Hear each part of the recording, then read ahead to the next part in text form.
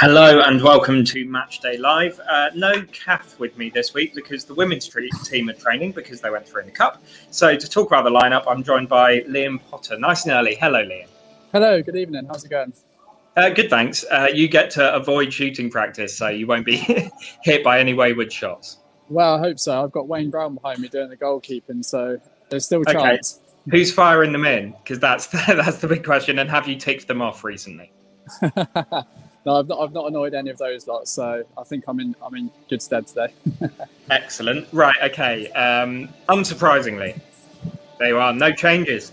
Um, so uh, just looking through that lineup um, and uh, in a bit more detail, really.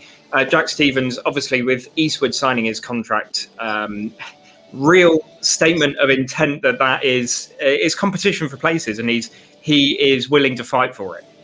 Yeah, absolutely. I mean, the, the goalkeepers union, they're a very tight knit um, group, and we've now got two very good and capable goalkeepers at League level who will offer a lot of competition to each other, really. So it'll be really interesting to see how that evolves and, um, yeah, who, who takes the, the, number one shirt next season. Yeah, um, right, just in front of them. Ruffels, Atkinson, Moore, and Long. Obviously, straight away back to, to playing in the same side. Long and Ruffels were were on the same wavelength. But also, I thought Moore absolutely bossed it on Saturday. Yeah, I think it was um, one of Elliott's best um, best performances in an Oxford shirt. I think we showed his leadership qualities more than ever. Um, he was constantly communicating with the other back form with Longy and Ruffs coming back in. Um, you would almost forgive them for being a bit rusty, having not played for a long time um, together. But no, they, they started straight back in, and um, it was a very solid defensive performance. And we all know how it went attacking as well. Well, yeah, six different goal scorers, and two of them are in the back four. That that can't happen often. A, a third of the goals coming from the back. Um, just in front. So, speaking of goal scorers, you've got Brannigan in that same position. Um, obviously he didn't want to score from the spot. He wanted to score from open play. So that was that was premeditated. We're going to stick with that. Um, I think a few times this season um, he's been in a position where. Uh, as a, as a fan, you can sort of maybe see that he really wanted to get that goal coming back from that injury. Um, that's off his back now. He can forget about that. Yeah, absolutely. I mean, listen, Cam is is the ultimate professional, and he was absolutely desperate to get back in um, with the goals.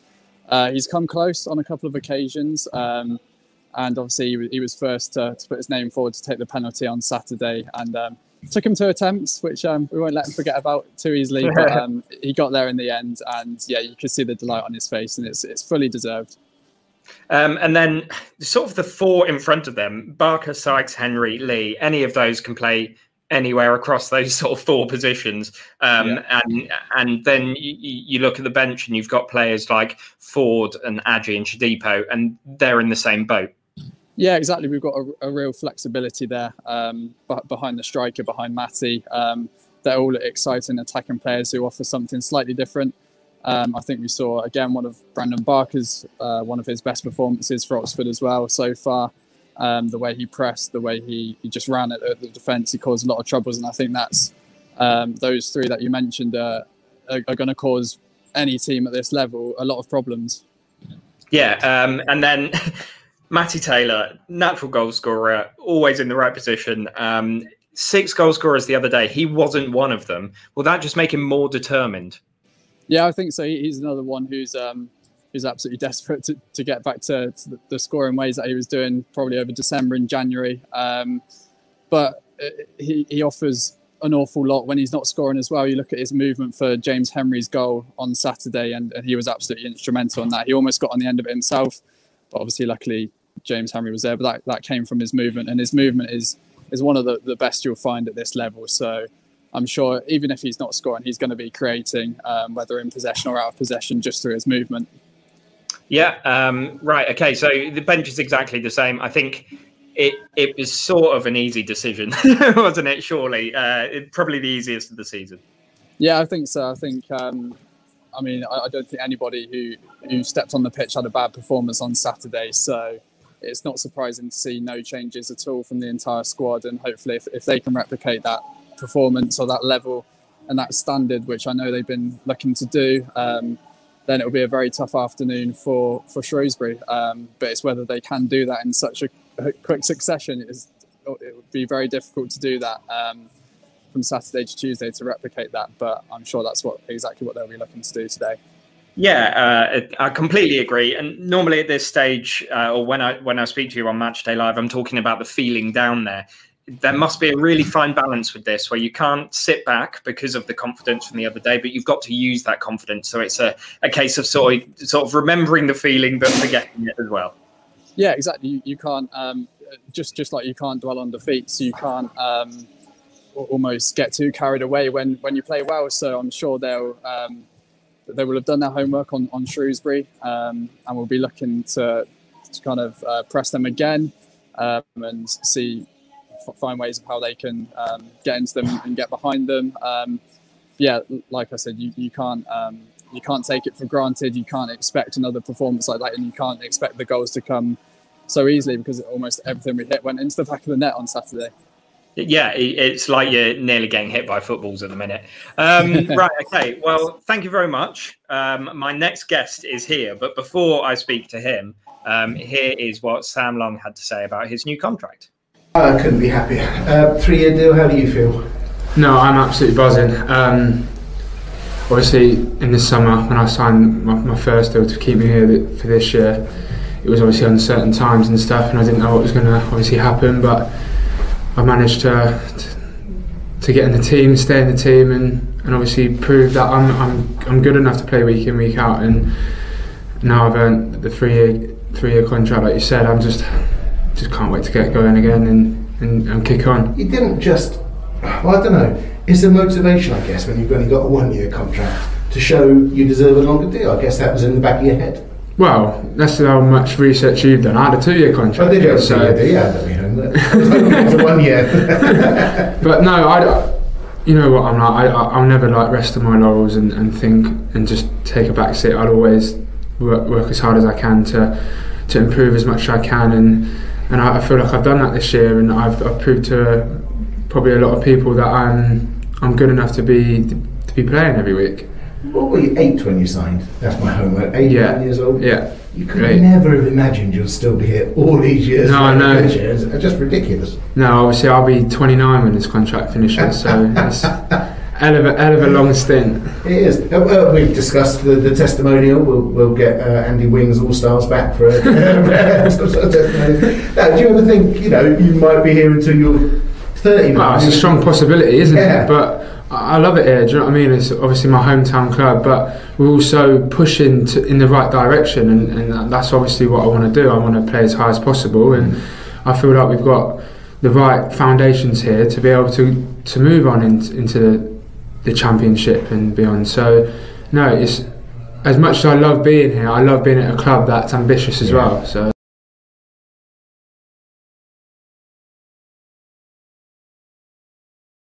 brilliant to see Sam Long signing a new contract after um, sort of coming up through the ranks. Um, and yeah, uh, another three years. That's got to be a good thing. Joined by Peter Rhoades-Brown. Um, three years. He's got a while on you yet, hasn't he? Uh, but yeah, it will never catch me. Fair enough. How long has he been here though? It's three years now, and then so. Well, apparently he actually signed when he was eight. Yeah. So he's been here 16 years in total, but as a professional footballer, 16 years. It's going to be eight or nine, isn't it, since yeah, he signed good. his first yeah, contract? Good man. Yeah, got to a few years before he gets to 37. anyway, uh, yes. So um, let's talk about football first of all. Uh, six 0 at the weekend. Uh, were you ever involved in a six 0 win? Uh, or loss? uh, here uh, for the Yellows, no. Don't think a six. Uh, a 6 0 win for the Blues. Newcastle uh, won 6 0 at the bridge. Uh, lost 6 0 to Rotherham uh, at Chelsea, which was one of the worst games of my life ever. ever. Um, not my fault, though. Um, but with Oxford, I think the biggest win was 5 5, I think. And when, when that happens, either way, how do you use that in the next game? Because you can't get, I was, I was just saying to, to Liam Potter, you can't get too carried away if you've won it you can't get too downbeat if you've lost it, but you've got to use the momentum if you have won it. And so it's a, a fair balance, isn't it? Yeah, it is. But you, you, look at the weekend before, and then everyone's you know, putting you to bed and saying you, you, promotions out of the way and you know, playoffs are out of the way because you lost to, to, to, a couple of teams over the, the follow, previous weekend. But all of a sudden, you go out against a decent team against Crewe, and you can stuff them six, could have been seven, could have been eight. Mm. Um, answers your question. Um, I think maybe because the pressure was off a little bit on Saturday, but the pressure's on a little bit again now. But it's been put back on. But you have to deal with pressure in a pro game. If you can't deal with it, you're in the wrong game. Uh, the gaffer will say that was Saturday. Tonight's a different game, and the players will know that they've got to replicate what they did. Why did they win six 0 Because they were played high up the pitch. Everyone closed the ball down well. Yeah, yeah, Barker's had a tremendous start, and in fact, we didn't start well. Uh, we had 20 minutes where we didn't start well, but we didn't concede. I think that's that's a massive thing for us. Uh, but once you know, once we get momentum going, you know, and Barker's doing his bit, and, and, and people are making good runs, and as I said before, make sure we play high up the pitch with our back four, condenses everything in midfield, which helps us. You know, we've got enough quality in the back. If you keep your back four and Jack, if you keep solid, you've got a chance of winning games. Yeah, yeah. Don't concede, and you've got at least a point. There you go. If you if you score any, then you've won. Yeah. Um, right. The uh, the reason I'm talking to you about football, other than the fact you're a, a phenomenal footballer, uh, is because Kath isn't here because she's training with the women's team. You used to be involved with the women's team. Yeah. Um, when we were back at the Manor, I when I was coaching in the uh, community, I ended up I was manager of the. We used to go and help out uh, Mick Stockwell uh, over in Witney, uh, when, where they used to train used to help him out, and, uh, and it was fine. I enjoyed it. And then I took over as manager uh, with Mick as my assistant. Loved that as well. Played Sundays, trained twice a week, I think, in the evenings. Uh, and then we they went quite big actually. We ended up playing at the Manor on Sundays. A fairly good standard, yeah, good, some decent players. Um, and then I stepped down as manager, uh, became chairman of the women's football team, uh, employed a couple of managers, and uh, yeah, some great times. Great drinking, by the way. The girls can drink better than the, boys. I can, I can believe that. I went to see uh, one of the games earlier this season when we were allowed to, and um, and yeah, they seemed like a, a great bunch, and, and I suspect could drink me under the table. Um, uh, so three one at the weekend. Did you catch the game? yeah, well? just caught glimpses of it. I was I was busy doing other things, but uh, didn't want to miss it. So yeah, um, great result, good performance. I thought the girls played really well. Again, and knock it about well. And you know, they, they obviously Liam's a good coach, um, but I thought the third goal was a cracker. Yeah, you know, phenomenal. You know, Took it really well. Oh. But no, they, they, were they were a good bunch. And say, say back in the day, we had a we had a few decent strikers, and um, I used to join in, but I used to fear for my life from some of the tackling. Honestly, they, they could they could uh, could uh, rattle into me, but that was good. Good times. Yeah. Um, right. Okay. In your your new life at Oxford United, uh, who are today's match sponsor? Um, Charles Peters Recruitment. Um, Richard Hales uh, in charge there. Charles Peters, our company based in Warwickshire, but he's an Oxford boy, Oxfordshire boy, and he's moved out many years ago to Warwickshire. But his heart and soul is Oxford United. So uh, he's always done business with us.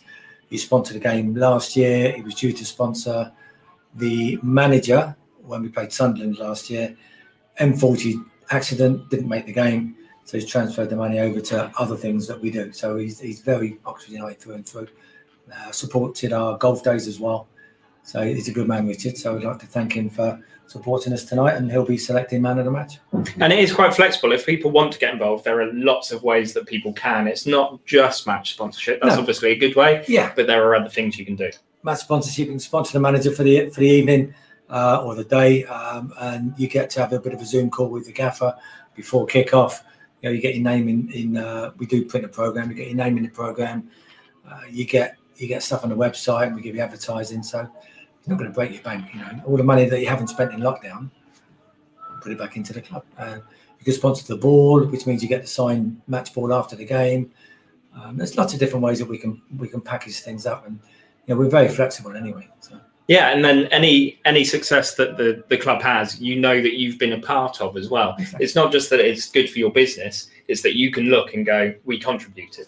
Yeah, we've had that a few times, and obviously when we've had some some businesses that have been new to us this year with the match sponsors, uh, they've co- contacted me the next day and said during the game, you know, their advert, advert in uh, next the manager's dugout has been seen, and they've had phone calls during the game from a mate or someone will say, listen, I, I see you're watching and I see you've sponsored the game, uh, scaffolding, building, accountants, you know, one man bands, and it, and it works, you know. So it yeah. does work, but not, don't take my word for it. no, but also with the flags in the stands as well. Um, yeah. You know, how many times have have we rewatched that goal by Barker at the weekend? That's a home game people are watching him running past the the, the advertising. As when I was a player, I um, I just used to watch football and just watch the game. But now I'm on the commercial side.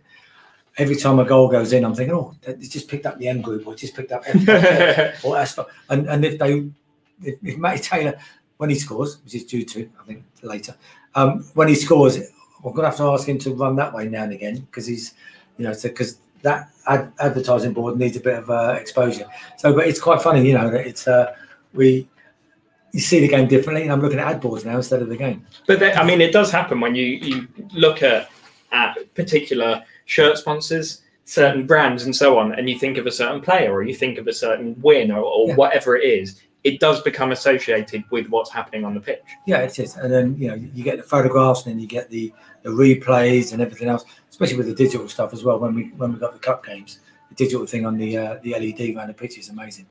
But uh, what we've got here is decent, and it's it's all visible, it's all good, and uh, still lots to offer if, if people need it.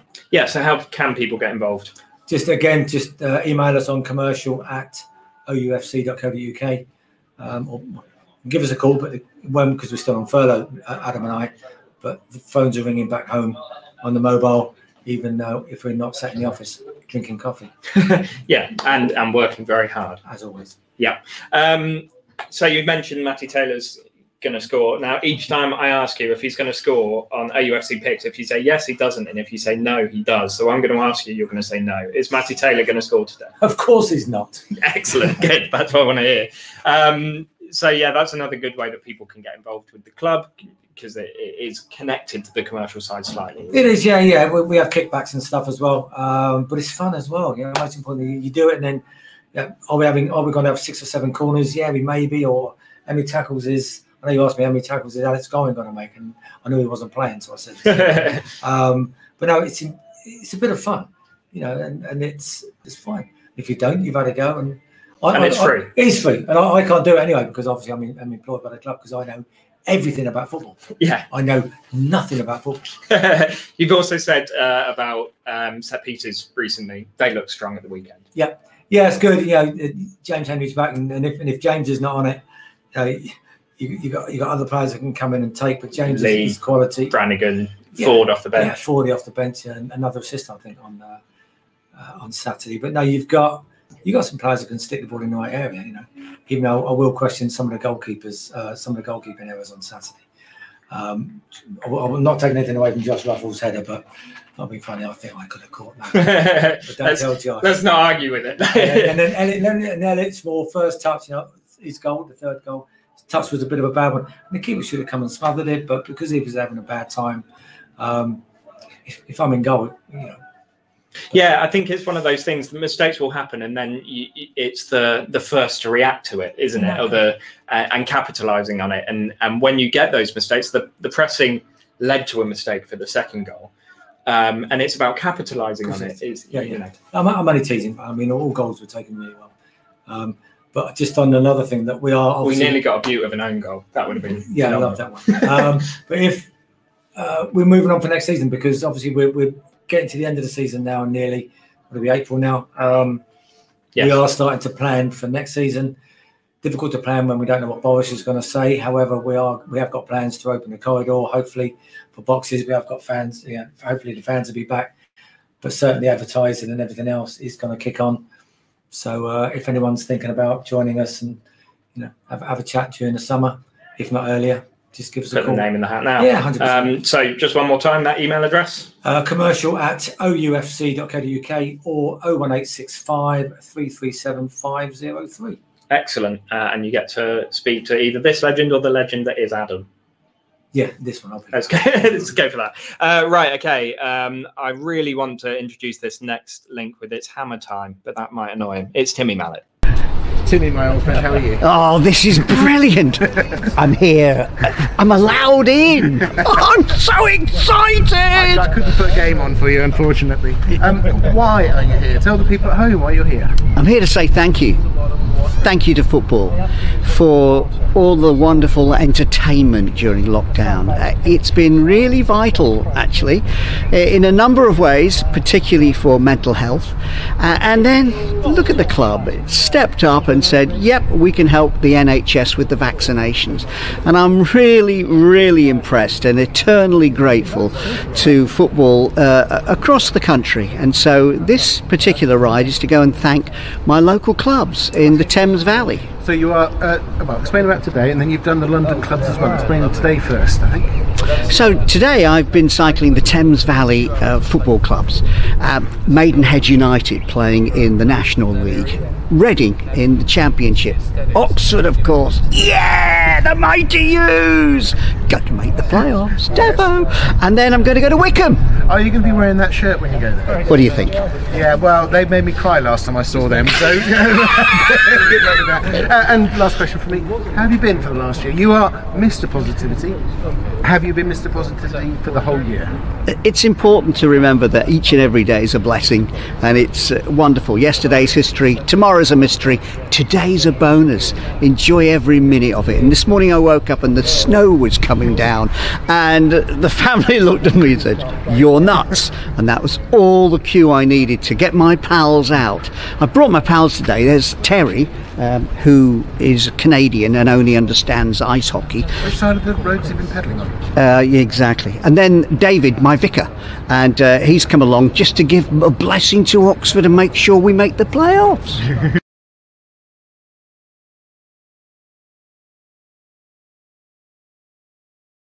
Far too much energy for me, and I must question Timmy Mallett using the word defo. Yeah, but utterly brilliant. So yes. Yeah.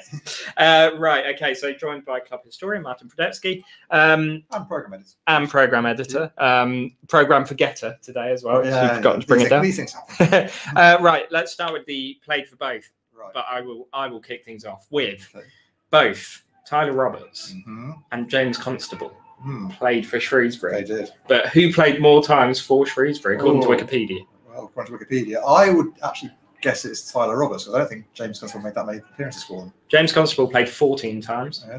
Tyler Roberts played 13 times. Oh. so it was very close. Very good. But yeah, I had to go with those two when I saw them so close. Right, right, right, Um, right. it- Asa Hall was only 13 times the first time, and then he went back and played Ah. another sort of 40 odd times. Wow. Uh, Awful thing. right.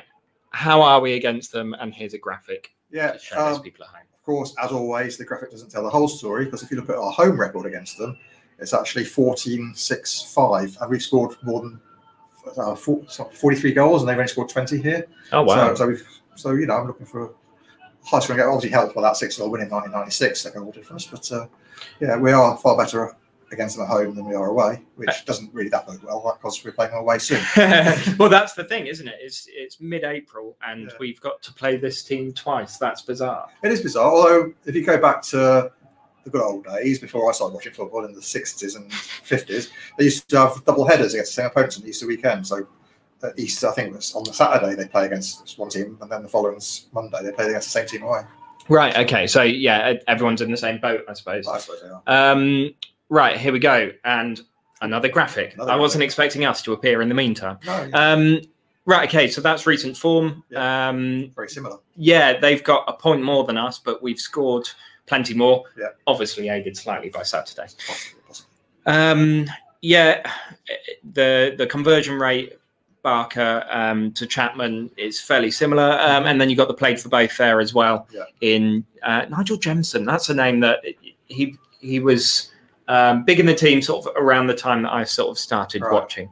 Okay. Um, and then you've got Bino, uh, Yeah. previously mentioned, uh, Higgins and Asa Biggins. Hall. Biggins. There we go. There's glare on the screen. Yeah. Biggins and Asa Hall. Yeah, those are the sort of the, I guess the four people most remember playing for both. Um, Biggins, obviously, uh, he was a legend at Shrewsbury. Came here, broke our goal scoring record in one season, and then uh, went off to Sebastian's New, and he's now actually living in Shrewsbury, working at, uh, the head of PE at the school there. So Oh, okay. So you know, remain sort of a, a Yeah. club um, alumni. I'm gonna Indeed. I'm gonna stick with. Uh, right. Okay. So um, uh, right program. I What's in it? unfortunately, I didn't have a a copy with me. My bad, but uh, there are not very many left, unfortunately, because um, we had a lot fewer pre-orders this time, so obviously the order quantity that we ordered from the printers was reduced, which means that uh, we've still, we've got about half a dozen left or so. But if you want one, you better get in quick because uh, they will go. Email program at oufc.co.uk. And what's in it is all the usual brilliant things that can all put in it. So, you know, match action, news, views, statistics, history, uh, co- comments from the chairman and the manager, all sorts of wonderful, wonderful content. Interview Elliott as well, lovely man. And how can people get hold of one? By emailing program at oufc.co.uk. I will then get back to whoever emails in with the uh, information required on how to make the payment. Um, do not send card details on the email, that's not very secure.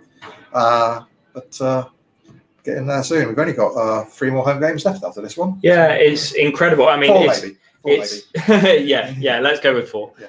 Um, it's incredible to be mid-April, knowing that the season is ending sort of so soon, but Yeah. still six games to go. Well, that's right. Yeah, and in, in some ways, I mean, it's been such a it's been a, a long season, but in a shorter frame of time. If you know what I mean. So the season didn't start till September, really. Mm. So all the games have been condensed into a much shorter period, which makes it feel it's gone on longer. Um, so I'm sure that there are a lot of people out there who could do with a break. Hopefully, there'll be three extra games to play at the end of it, so breaks are yeah next Delayed. Yeah, delayed, delayed until we're in the championship. Yes. Um, right. Okay. Uh, something that I've noticed during this weird season, and I think Karl Robinson is quite good at, at bringing out in teams. Um, a lot of records have changed recently. So, yes, we won 6 0 away last season, but we matched it again this season. You've got the record breaking run. Are these sort of things changing all the time? Meeting Fleetwood for the first time. Exactly. Yeah. Um, are they are these sort of things changing all the time, and we maybe don't notice or don't talk about it as much, or sometimes when you've got a manager like Karl Robinson, do they change sort of more frequently? That's a good question. Um, yeah, surprised to say. uh, I, I think um, I think they do happen a lot of the time, but we don't notice. Uh, well, we, we flag it up when we do on it, because obviously. But like I said, last season we beat, we beat the away record. Um, the record has to be set sometime. That was in that case it was uh, a few years ago. But well, well, in our promotion season from League Two, we equals the previous away record twice. So, so yeah, I mean, I think it does happen all the time, but maybe we notice it more because. Uh, you always notice it more when you're playing well. You'll notice a record run of wins more than you notice a record run of defeats, for example. Yeah. Um, Yeah. But uh, yeah, so I think, and I I do think that the way Karl's got the team playing, um, they're more prone to get big results like on Saturday. They're more prone to maybe uh, get the good uh, streaks of wins like we had um, earlier in the season. Um, Well, and we've seen each season he's been in charge. The tail ends of the seasons usually are such a good running, yeah, and and that's exactly what we need now, and hopefully exactly what we need now. Yeah, I mean, like I say, for, uh, after today, or during today, six games left. Mhm. Um, so that's uh, six times three, 18 points to play for. Yeah, go for it. Yeah, Yeah, perfectly achievable. Uh, right. Okay. Well, thank you very much for joining. You've got to go and do your your Twitter. Um, but the uh, this was the team we played against for 125th, It was. Yes. and uh, I have the rewind right here.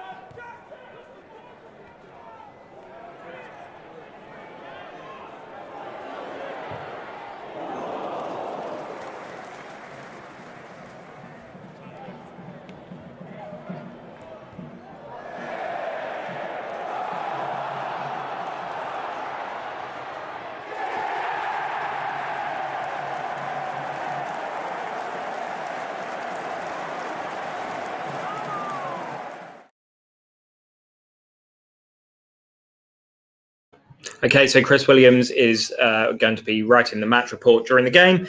Uh, Liam Potter will be filming the moments you missed, and Martin Brodetsky will be off doing the Twitter account. I'll be on Instagram if you want to keep up with the stories there. Uh, thanks very much for watching, and I'm going to leave you with uh, the highlights from the latest player to sign a new contract. It's Sam Long. Thanks very much for watching, and goodbye.